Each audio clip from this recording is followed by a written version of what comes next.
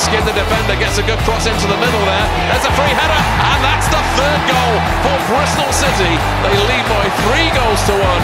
Great cross coming in from the right hand side. And there is that man again, Niclas Eliasson. Cross comes in once more. Josh Brownhill was left all alone. He's got quick feet, hasn't he, Eliasson? Cross came in, bullet header, 4 1. Here's Eliasson, it's a really good ball in,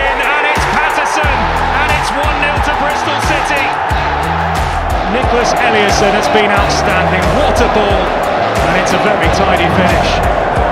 It's twice once more. Work the corner shorts. And the ball is played in. It's Diedhiou. It's game over surely. Here comes the corner and a header down. And the Portuguese fullback has equalised. Pedro Pereira. Played inside for the run of Adam Nagy. And into the bottom corner. It's Niclas Eliasson, the substitute. Brownhill to Eliasson. On a one with McNair.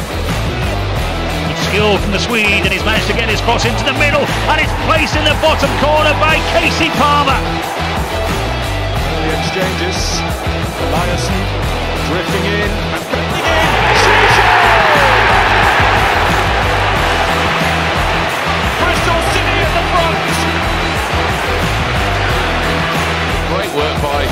Niclas Eliasson. Right footed chip in. Let's clean up his man. Picks on Jordan Williams, beats him to it. Gets it across the box to Eliasson!